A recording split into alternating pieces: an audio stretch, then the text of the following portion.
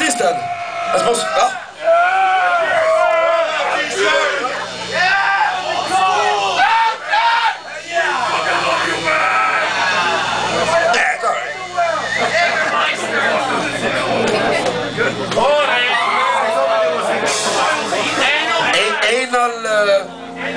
Eenal atrak.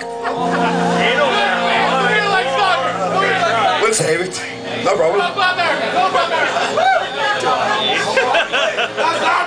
Couple of more? We're not 40 anymore, you know.